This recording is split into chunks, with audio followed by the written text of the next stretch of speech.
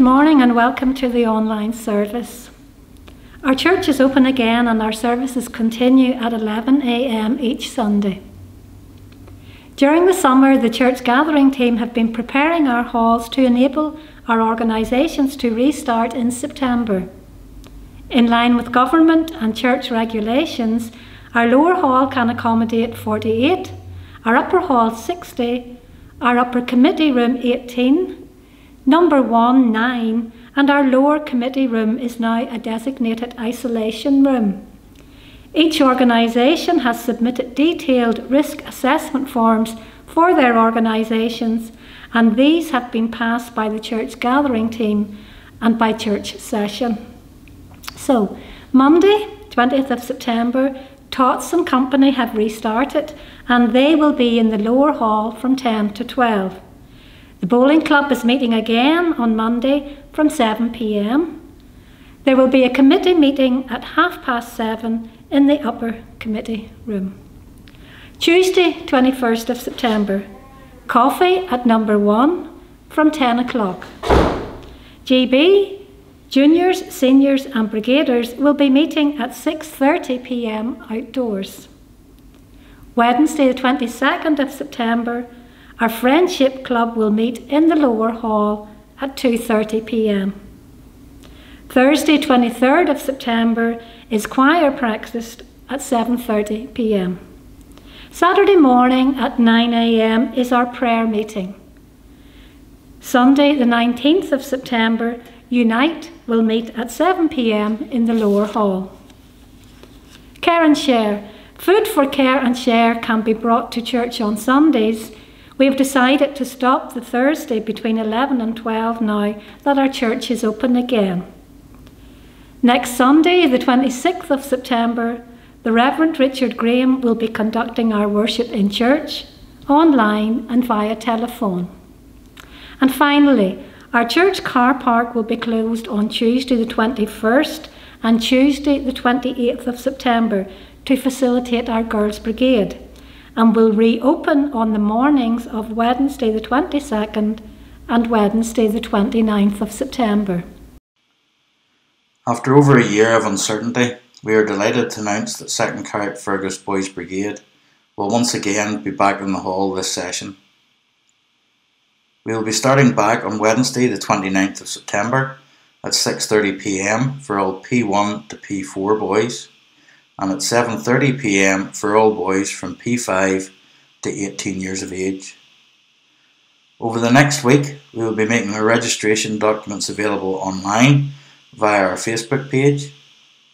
If possible, I would appreciate it if you could complete the form when it's available and return it to us before the 29th of September.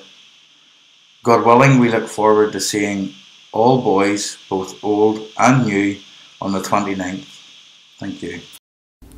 These are all the announcements. Good morning and welcome to our pre-recorded online and telephone service for the 19th of September 2021 from Joymount Presbyterian. You're very welcome to join us and hope you'll find fellowship with us. With sadness, have to announce a death in our congregation. Mr. Robert Wilson has passed away and may we continue to, to remember uh, the family in our prayers. In Psalm 91, we read, Whoever dwells in the shelter of the Most High will rest in the shadow of the Almighty. I will say of the Lord, He is my refuge and my fortress, my God in whom I trust. Let us praise God now with our opening hymn, the hymn number 211. I will sing the wondrous story.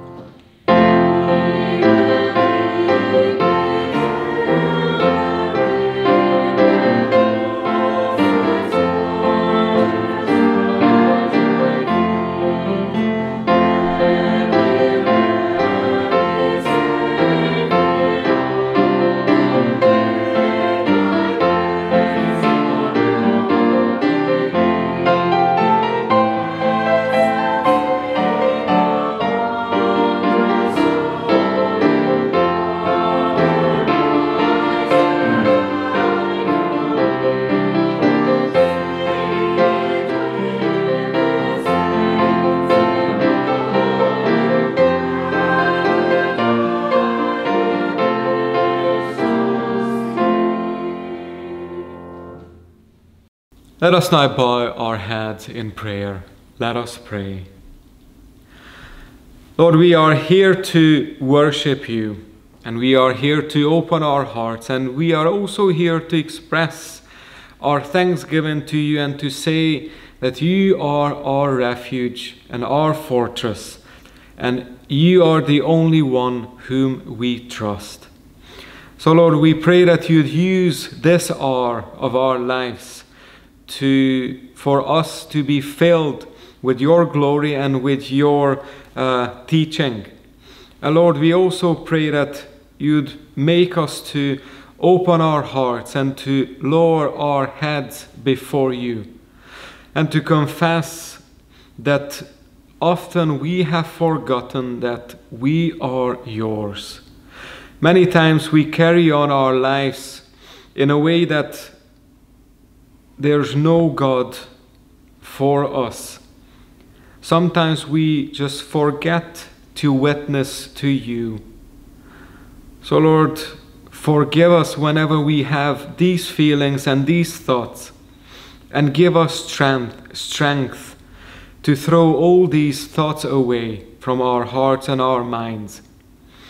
And remind us, Lord, of who you really are and how much you love us and how much you care for us.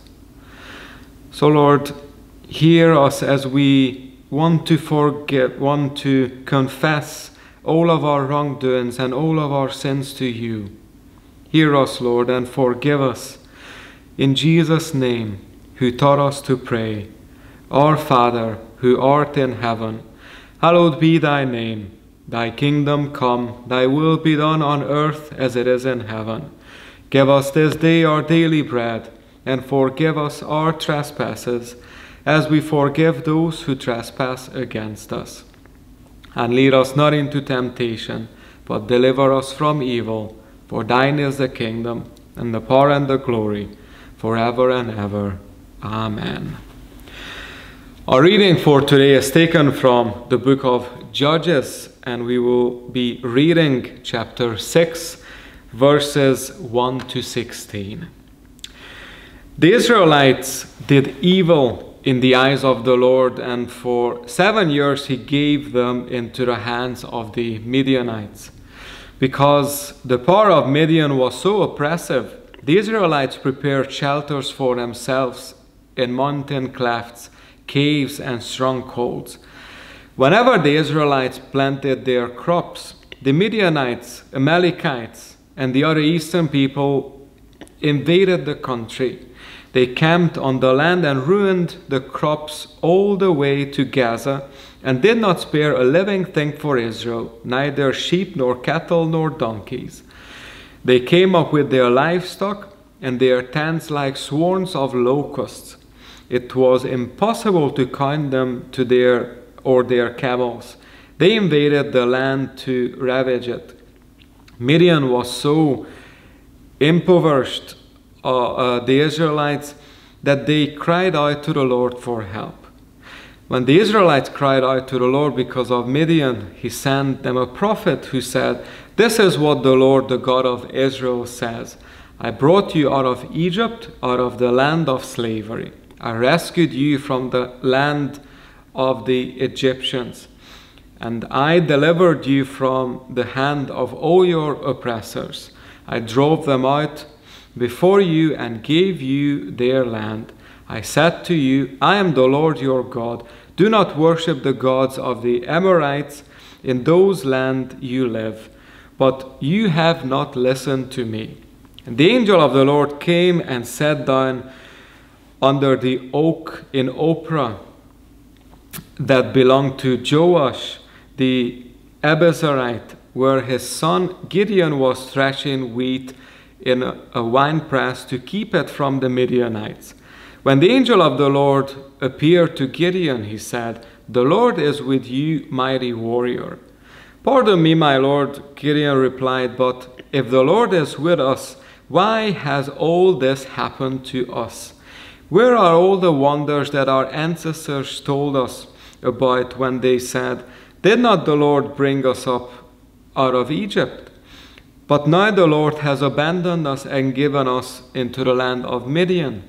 The Lord, Lord turned to him and said, Go in the strength you have and save Israel out of Midian's hand. I am I not sending you? Pardon me, my lord, Gideon replied, but how can I save Israel? My clan is the weakest in Manasseh, and I am the least in my family. And the Lord answered, I will be with you, and you will strike down all the Midianites, leaving none alive. This is where our reading ends. May God bless His word to us. Amen. Good morning, boys and girls. Hope you are doing good. Hope you're all well. And uh, hope you know and hope you're all aware that. Uh, we have restarted Sunday school and also a couple of our organizations as well. So just keep our church Facebook page uh, for the announcements and hope you'll see you back soon. But before that, today I would love to talk to you about fruits and a particular fruit that I love. And I'm so thankful to God that created this type of fruit to us. And that fruit is, I would say, one of the best fruits we can have. And it is a banana.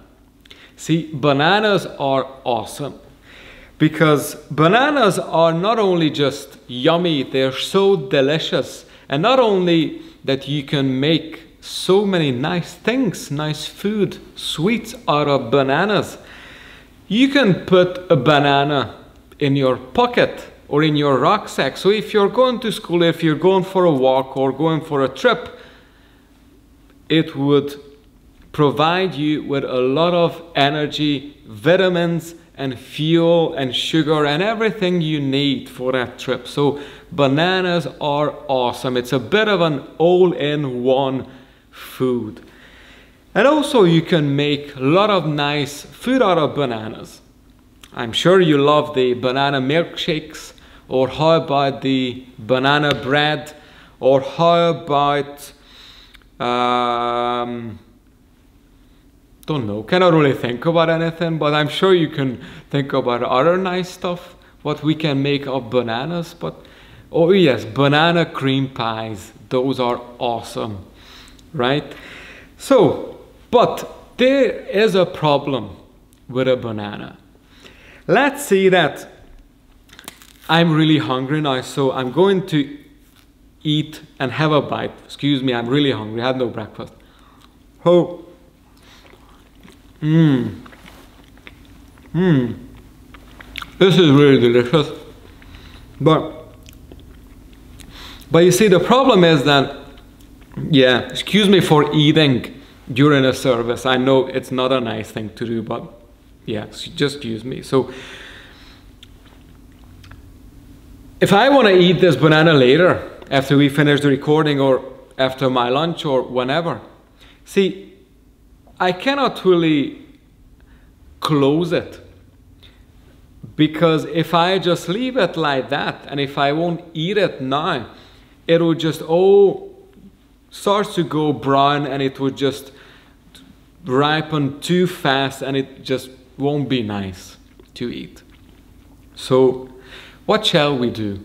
How shall we close off the bananas? Well, God didn't make the bananas in a way that, well, I'm just going to open it up and eat a few bites and just close it and then eat it up later on. Right? So, how should we do it? So, I brought a few things here.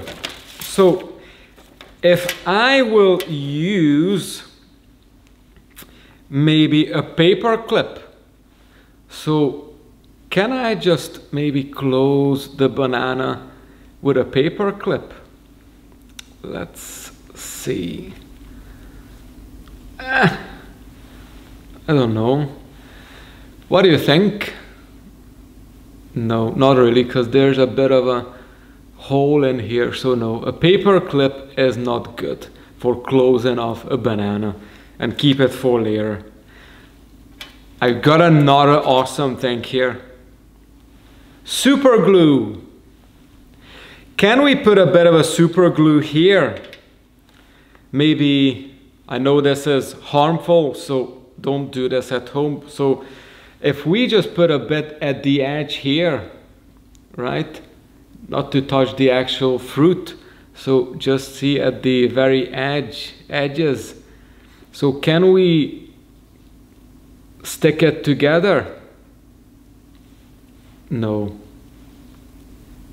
Nah, that's impossible. That super glue wasn't a good idea. And just be very careful when you're using super glue because you don't want to end up sticking some stuff onto your fingers and just walk like that all day, right? How about this? How about a bit of a sticky tape?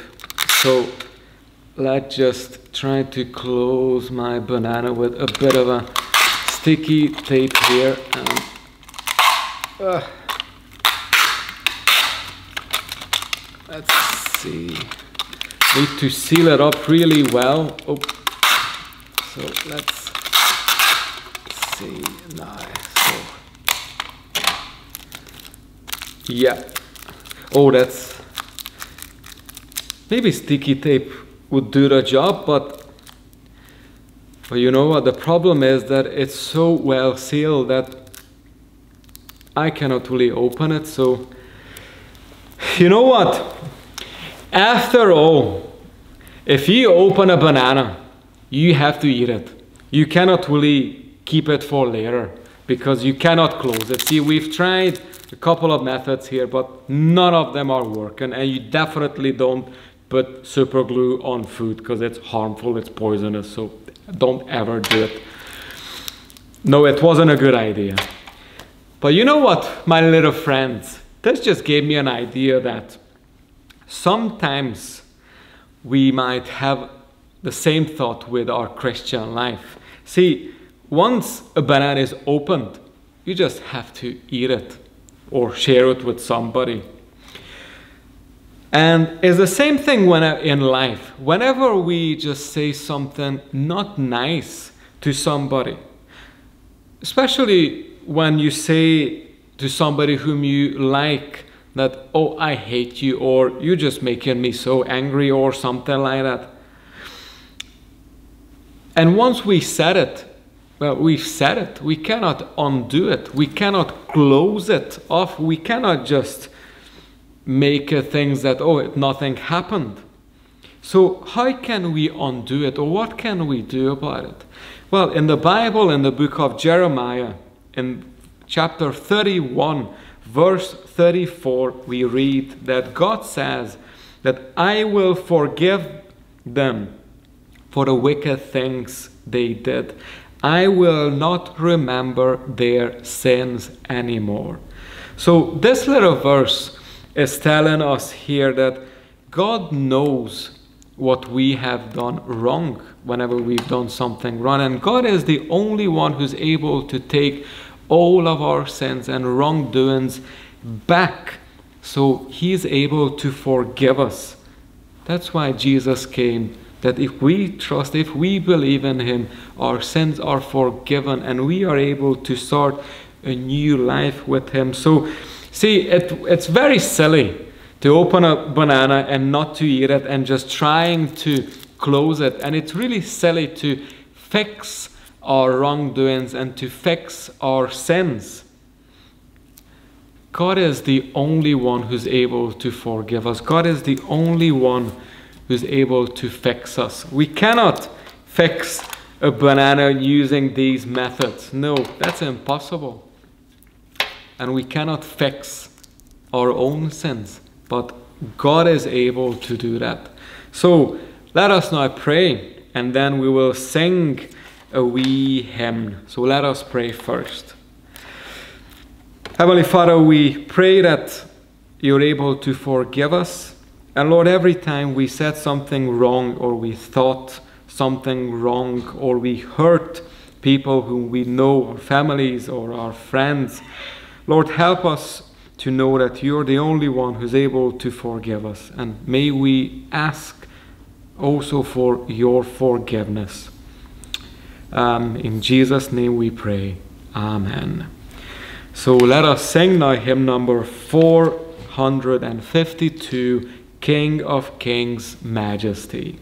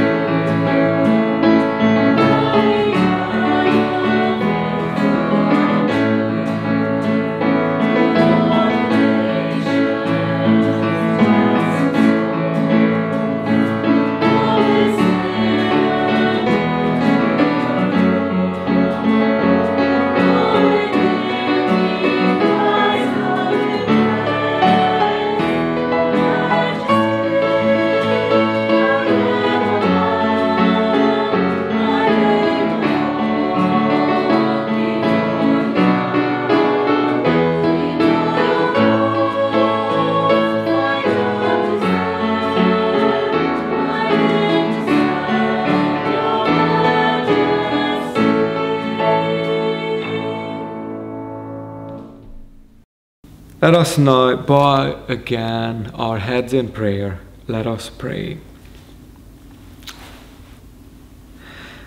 Heavenly Father, help us to see all the bright things around us and all the good things in our lives. And Lord, open our eyes to see the things to be thankful for. And help us to see the things, all the gifts that you have given to us. Lord, may we continue to see all your wonderful gifts that comes out of your grace.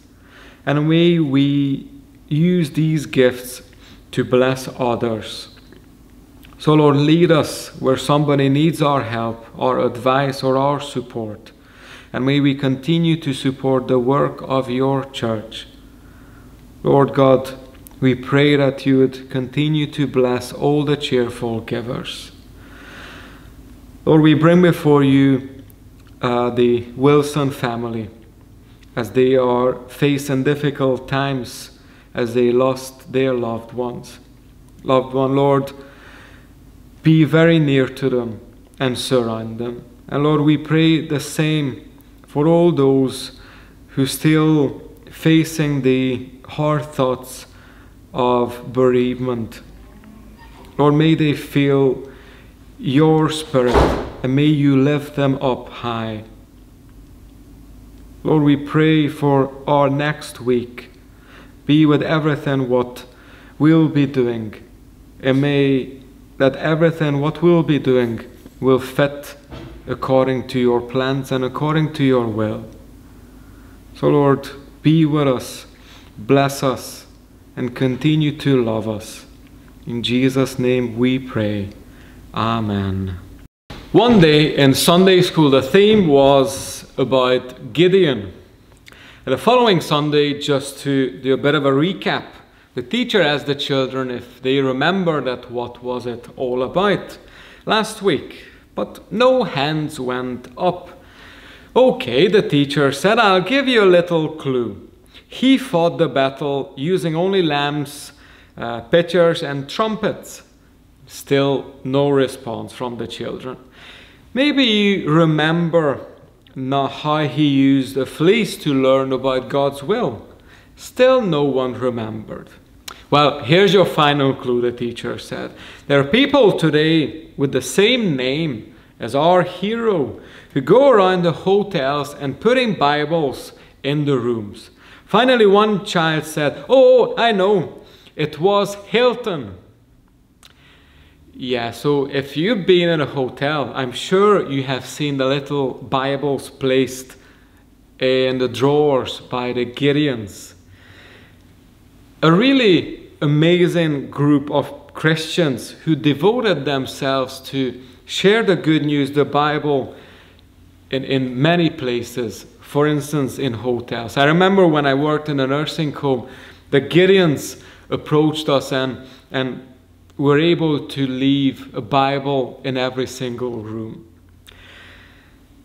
Why would people dedicate their lives uh, to spread the words and to name or to have their names after these biblical characters? I think because Gideon was such a person full of faith, and as we look at all his life, he was really worth that now these group of Christians to have uh, this name that the, the Gideonites. The book of Judges speaks about a very interesting time of the history of Israel. Well, at that time, there's no king. So it means that, well, I wouldn't say that everyone was doing whatever they wanted to do. I would rather say that everyone was doing what it seemed right in their eyes.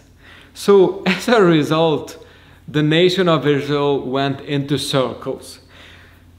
They worshipped God, but then something happened, so they turned away from God. They started to worship other idols and gods. So, as a result of their sins, God punished them. And who was the best punishment? So, God allowed the surrounding nations to attack them. So, as a result of that, the Israelites realized what they have done. So, they tried to, they started to cry out to God for forgiveness and for repentance. So, God heard their cry and their prayers, and God sent a prophet or a leader to them to deliver them. And it happened and it happened and it happened many, many times. And during one of these times, when the Midianites became strong and it, it had, it, they attacked the Israelites, God caused Gideon to be their deliverer and their leader. So we can say that Gideon was the right person to do that. Sometimes you might feel that well, yeah, I might be the right person to do something that God is calling me to do.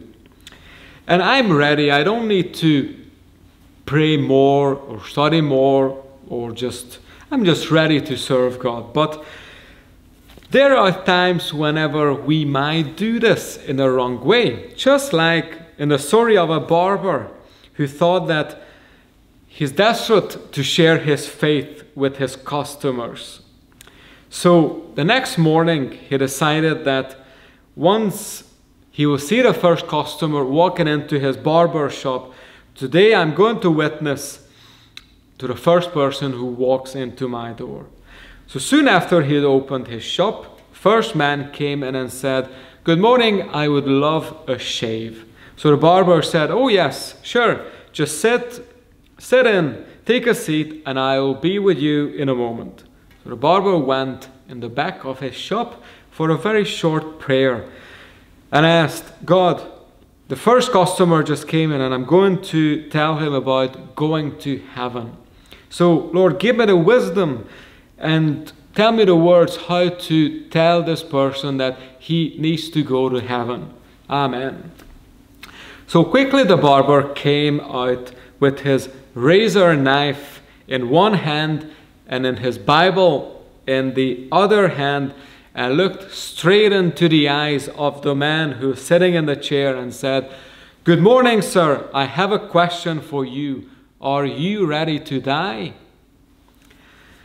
So, probably this is not the best way to share our faith with somebody because this question might, and the way this person in this little story asked might just scare somebody away from God. But let's just look at a very good example of how somebody was brave to share his faith. So let's just look at briefly uh, today at the story and the life of Gideon, especially at his calling, as we read. So he's a perfect biblical character who fits in the description that yes, he was a great warrior and a faithful person. But also, I feel like that he was just one of us. He wasn't perfect, he wasn't a warrior, but God made him to be great. He was even struggling a bit. He had no idea that he will lead only 300 soldiers to fight against the Midianites in a battle. And they, they will win only with 300 people. But you see, how great is God that He is able to use ordinary people with ordinary skills. And when you're willing to do something for God, for, for His church, for His people, He's able to encourage you so well. Gideon, probably he didn't have special powers or special knowledge how to be a good soldier, how to fight. I'm not into the army, but I'm sure if you want to be a good a professional soldier, you have to train and you have to learn a lot, and you have to see that might take a good number of years. Not just in Gideon's story that it will be you and you just go. But you see, there's a difference when God is calling us to do something. God sees the potential in us. God even sees that even whenever we think that, oh no, that's, it's, it's not for me, I, it, it will be impossible, God, so let's choose somebody else. No, no, no, no, no. But God has faith in us. God knows us. God knows our abilities. And also, God knows that how He can teach us and how we'll be able to achieve uh, our cause. So the Midianites have taken over Israel. The Israelites are so afraid of them that whenever they saw them approaching, they immediately started to hide in caves somewhere in the hills. And they tried to hide all the food and everything what they had because the Midianites would have stolen everything and just kill all the animals and destroy all the crops. But shall we say that luckily they had Gideon? And as I said, that he was leading only 300 soldiers to conquer the whole army of the Midianites. But really, was he? Or how can we, we say that he was the perfect person for his job? Because as we read in verse 11, at his calling that the angel of the Lord came and sat down under the oak in Ophrah, and that belonged to jo- Joash the Abiezrite, where his son Gideon was threshing wheat in a winepress to keep it from the Midianites. He was a farmer, so he wasn't uh, coming from maybe a, a, a famous family who was famous for, for fighting so he wasn't a famous soldier. He, he was a far, farmer. He had farming background. And when the angel of the Lord appeared to Gideon, he said, The Lord is with you, mighty warrior. See, God knew everything about Gideon, and God knew that despite of his background, he had awesome abilities. And God made him, God taught him. So the Lord is with you, mighty warrior. This is how uh, the angel calls him. But, sir, Gideon replied, if the Lord is with us, why has all this happened to us? Where are all the wonders that our fathers told us about when they said, Did not the Lord bring us up out of Egypt? but now the Lord has abandoned us and put us into the hand of Midian. So God is sending this highly qualified warrior to defeat this army.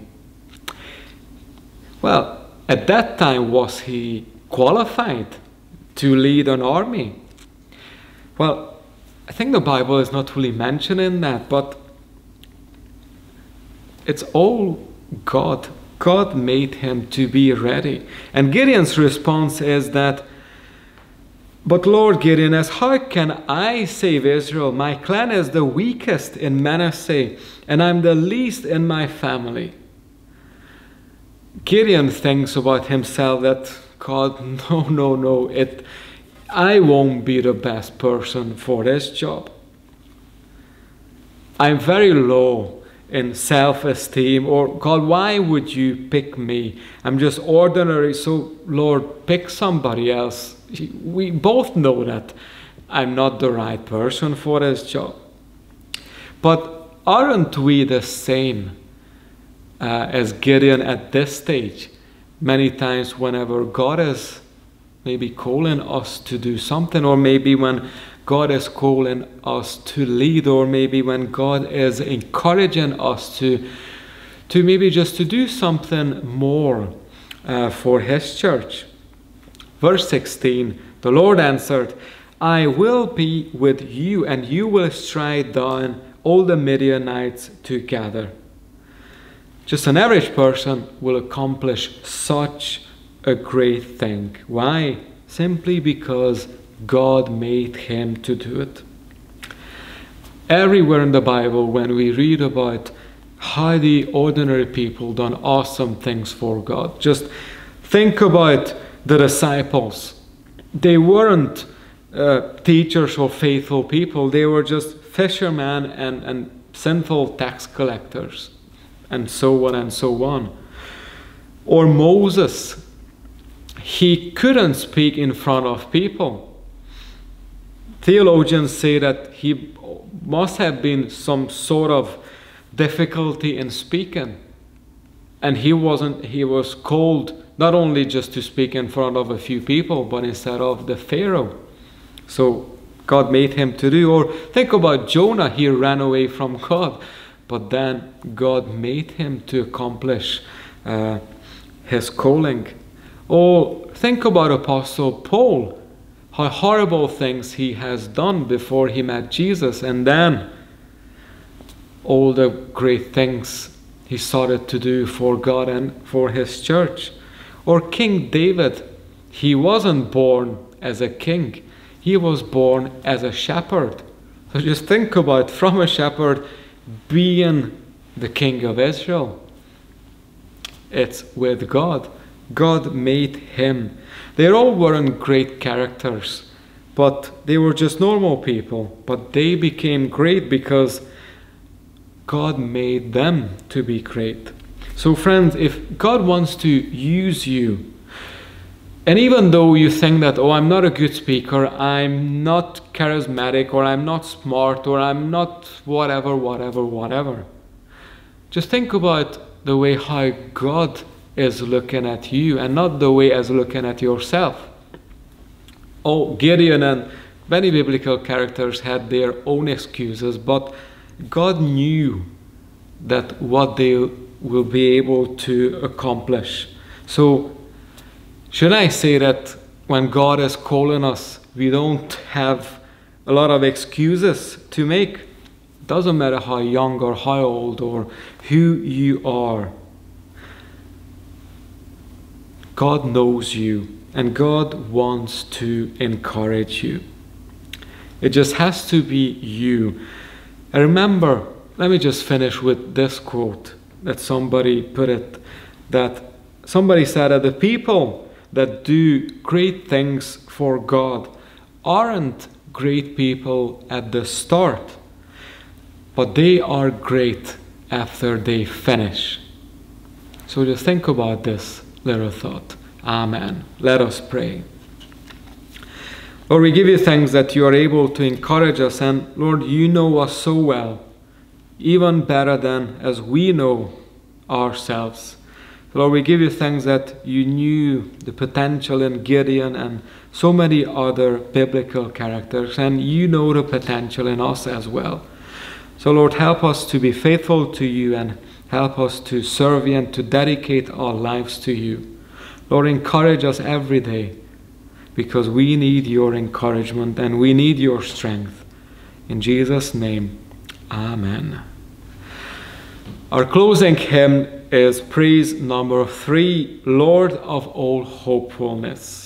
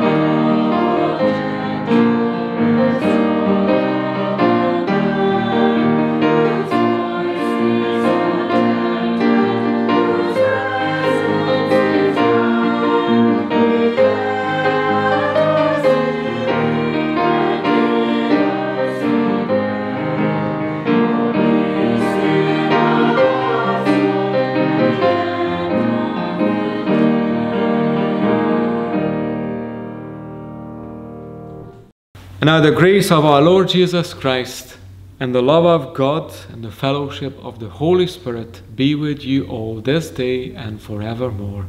Amen.